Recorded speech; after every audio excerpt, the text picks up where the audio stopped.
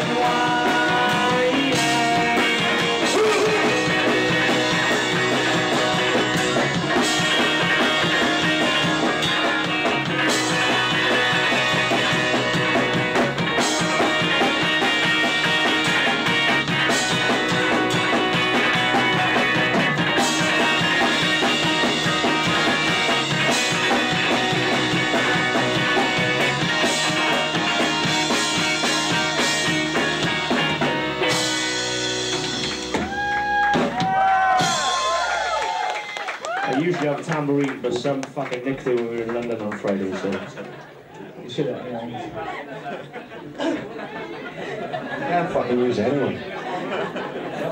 Uh, I haven't learned how to play the tambourine yet, so...